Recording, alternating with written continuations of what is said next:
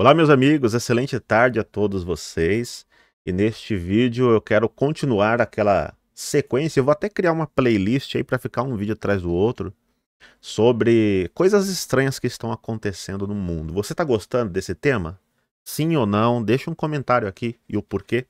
Bom, eu quero mostrar que agora até mesmo as agências oficiais estão falando sobre sons estranhos que estão sendo identificados né, aí pelo nosso mundo. E agora um é bem alto, você já vai entender. E quero também te mostrar alguns vídeos é, aqui sobre algumas situações que estão aparecendo ao redor do mundo. Inclusive tem um aqui do lado da Argentina que muitos não dão uma explicação plausível para o que aconteceu, tá certo?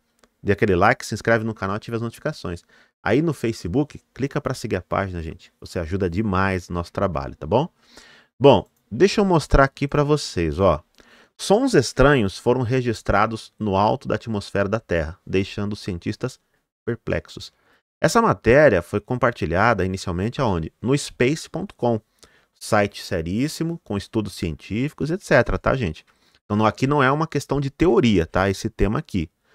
Olha só, é curtinha a matéria aqui, ó, só para você entender, ó. Os cientistas detectaram sons altos na atmosfera da Terra que não podem ser identificados. Não sabe o que é. Uma missão de balão movida a energia solar lançada por pesquisadores da Sandia National, National é, levou um microfone para uma região da atmosfera da Terra encontrada a cerca de 50 quilômetros acima do planeta, chamada a estratosfera. De acordo com o Space.com, essa região é relativamente calma e livre de tempestades, turbulência, tráfego aéreo comercial, o que significa que os microfones nessa camada da atmosfera podem escutar sons do nosso planeta, tanto os naturais quanto produzidos pelo homem. No entanto, o microfone nesse estudo em particular também ouviu sons estranhos que se repetem algumas vezes por horas. É, a cada hora, né, vamos dizer assim. Sua origem ainda não foi identificada. Os sons foram gravados na faixa de infrassom, o que significa que estavam em frequências de 20 Hz e inferiores, bem abaixo do alcance do ouvido humano, esse tipo de som. Tem aqueles sons que eu estou mostrando para vocês, já alguns vídeos que as pessoas estão ouvindo ao redor do mundo, inclusive tem um site que um americano criou, onde né, que eles falam, que eles chamam dos sons de trombetas, né? Mas não são. Parece um, um, um ranger né, de metais, esse som é, que, eu, que eu já mostrei aqui para vocês.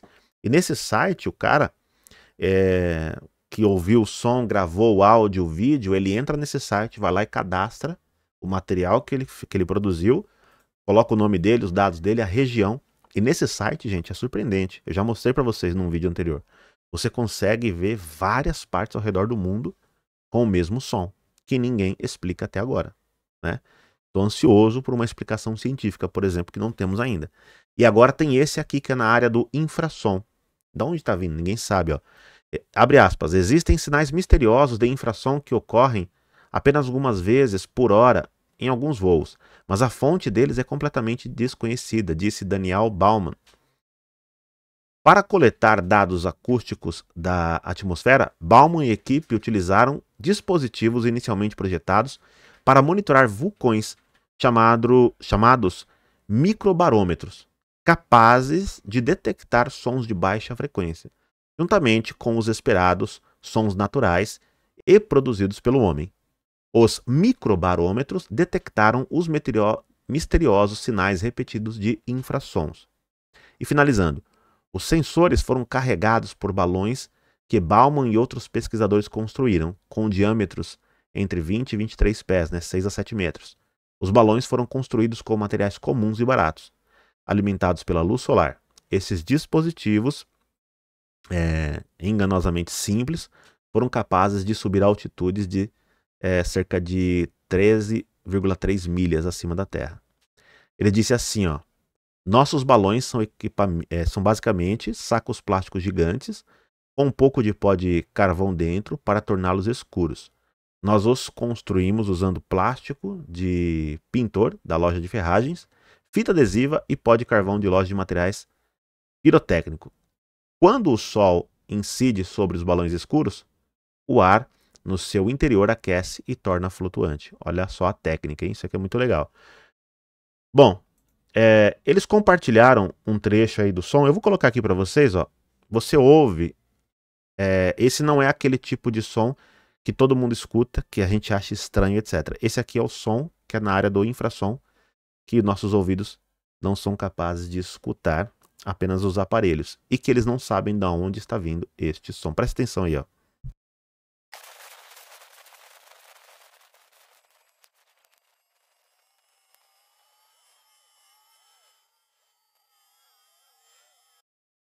Qualquer coisa aumenta o teu som aí, ó.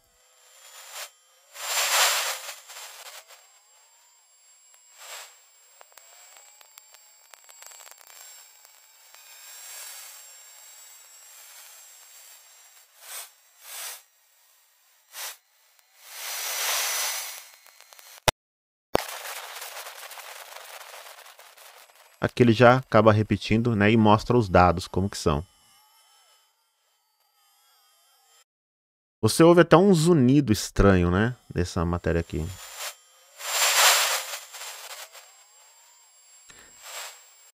E aí ele fica repetindo essa parte, isso aqui é uma pequena parte. Você pode ver que está no próprio site do é, space.com e isso para nós parece uma besteira, é um chiado, né? Não.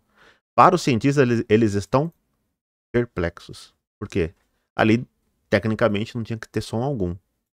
E tem algo emitindo este som, o que é? Bom, aí nós vamos para as teorias. Essa imagem aqui é, é algo, ó, pode ver, olha o tanto de gente parada, o que dá credibilidade a nos contar que, olha, esse vídeo é real. Por quê? Todas as pessoas ali, elas estão olhando para o mesmo lugar, e apontando os seus respectivos celulares para o mesmo lugar. Então dá mais uma veracidade. E tem vários vídeos do mesma é, situação. Então veja, vários ciclistas pararam ali, ficaram olhando para o céu, fotografando, é, fazendo vídeo. Isso aqui apareceu no céu, sabe de onde? Da Argentina. Esse é conhecido como Red Sprite. Né? Nós estamos vendo cada vez mais esse fenômeno acontecer ao redor do mundo essas luzes vermelhas, né, principalmente vermelhas, mas tem outras também que estão aparecendo e que as pessoas ficam perplexas. De onde está vindo?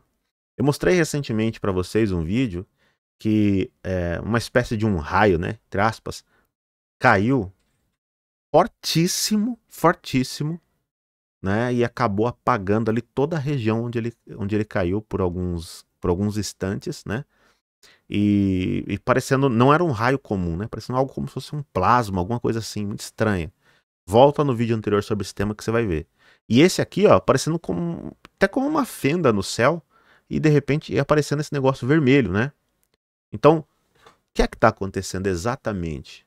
Bom, se nós formos para a Bíblia, que eu sempre gosto de fazer essa analogia, né?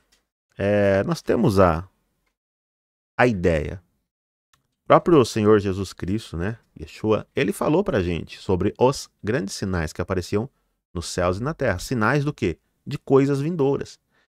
Para mim, eu acredito que é, isso tudo que está aparecendo, sendo fabricado pelo ser humano ou não, natural ou não, são sinais de eventos próximos que estão chegando, que vai atingir a humanidade, de alguma forma, vai impactar. Quem crê na Bíblia sabe as coisas que virão pela frente. Né? Então nós estamos vendo cada vez mais isso acontecer. Outro vídeo que eu quero te mostrar, ó, esse aqui, ó. Isso daqui, é, várias pessoas filmaram, isso é na Índia, tá? Olha lá. Uma espécie de como se fosse um vortex, né, ó. E dali você vê uma outra luzinha saindo. Olha isso. Isso é um vídeo da Índia. Olha lá. Né, ó. Você vê aqui, ó. Uma espécie, o pessoal até fala, né? Parecendo um portal, parecendo alguma coisa nesse sentido, olha lá e sai essa luzinha ali. Olha aí, ó. O que, que é isso que saiu dali de dentro? Né? Tem até uma narração em inglês aqui do vídeo falando dessa situação da Índia. Então, como se fosse um, um, um portal realmente, algo nesse sentido, ou, né, que, que, né, que espiral é essa? Que vortex é esse? De onde que é isso? Né? Como surgiu? Quem está fazendo isso?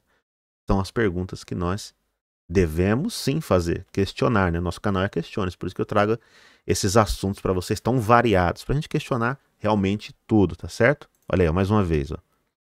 Na Índia. Então, realmente, veja, é, aqui na Argentina, o céu ali avermelhado, fora que também, uns meses atrás, apareceu aquela nuvem estranhíssima na Argentina, o povo até ficou com medo de terremotos, porque foi o que aconteceu na Turquia, né?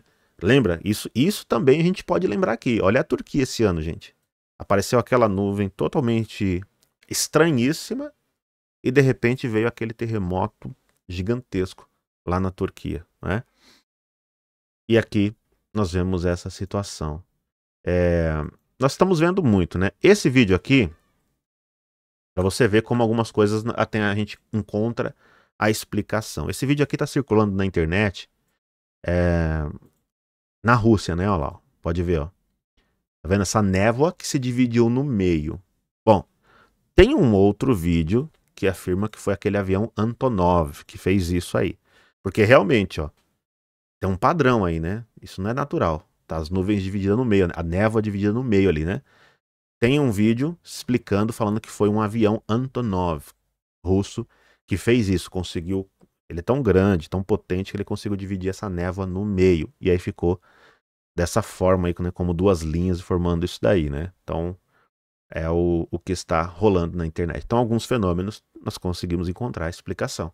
Enquanto não, não encontramos, vamos explorando, né? Vamos questionando para tentar descobrir, tá certo? Bom, isso e muito mais, gente, eu posto lá no meu Instagram. Então, peço a você que está me assistindo, dá essa forcinha. Eu sei que você tem Instagram, a maioria tem. Não tem ainda? Criam lá. Segue lá, ó, arroba RenatoGBBR. Lembrando que a partir do mês que vem eu vou compartilhar com vocês também aventuras aí, né? A nossa aventura em Israel, como vai ser a viagem, vou mostrar o dia a dia, vou mostrar curiosidades, comidas, né? Você vai poder mandar pergunta, tirar dúvida, você que tem o sonho de ir viajar e etc. Eu vou começar a compartilhar lá com vocês tudo isso também, tá bom? Além das coisas que eu gosto, vou mostrar isso também que eu gosto. É uma outra coisa que eu gosto, né? Então, arroba RenatoGBBR, tá? Eu tenho postado muita coisa lá, inclusive postei isso daqui, ó. Isso aqui é feito numa rave, né, tal. Mas é um tipo de tecnologia que eu já mostro para vocês aqui, né? Aqui provavelmente é um talão, ou um telão, né, talão. Um telão, pode ser ali com né, um holograma ou não. Mas isso aqui eu deixei a dica do que, gente? Isso aqui pode ser até mesmo projetos futuros, né? Vocês sabem já existem algumas teorias aí, né? De hologramas que serão utilizados e etc. Ó, nós já estamos perto do lançamento de um livro maravilhoso chamado Teoria Mãe. Nesse livro que eu vou divulgar aqui para vocês, praticamente todas as teorias estão ali abordadas e com uma explicação profunda e a implicação dela nos nossos dias atuais. Então fica ligado, porque o lançamento aí em três idiomas, preste atenção, em três idiomas, tá? Português, espanhol e inglês, desse livro está perto. Gente, é um livro, é o mais completo que nós desenvolvemos, tá bom? Então, aguarde aí, nos próximos dias eu vou divulgar para vocês. Fechou, gente? Então, ó, que Deus abençoe, compartilhe esse vídeo aí, ajuda o canal, se inscreve, ative as notificações se você não é inscrito. Tamo junto e até o próximo vídeo.